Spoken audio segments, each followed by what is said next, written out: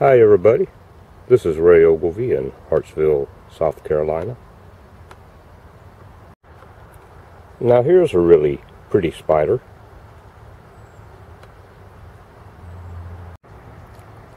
This is an orchard spider, and it's one of the long-jawed orb weavers.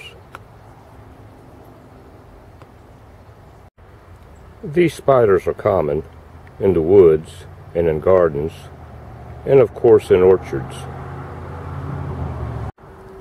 It does have long jaws and long fangs, and it can bite.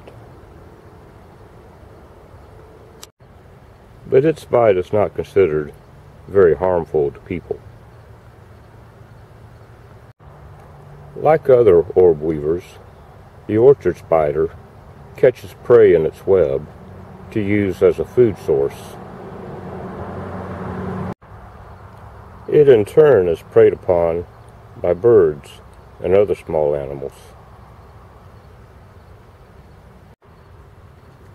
To me, the most striking thing about this spider is its beautiful colors.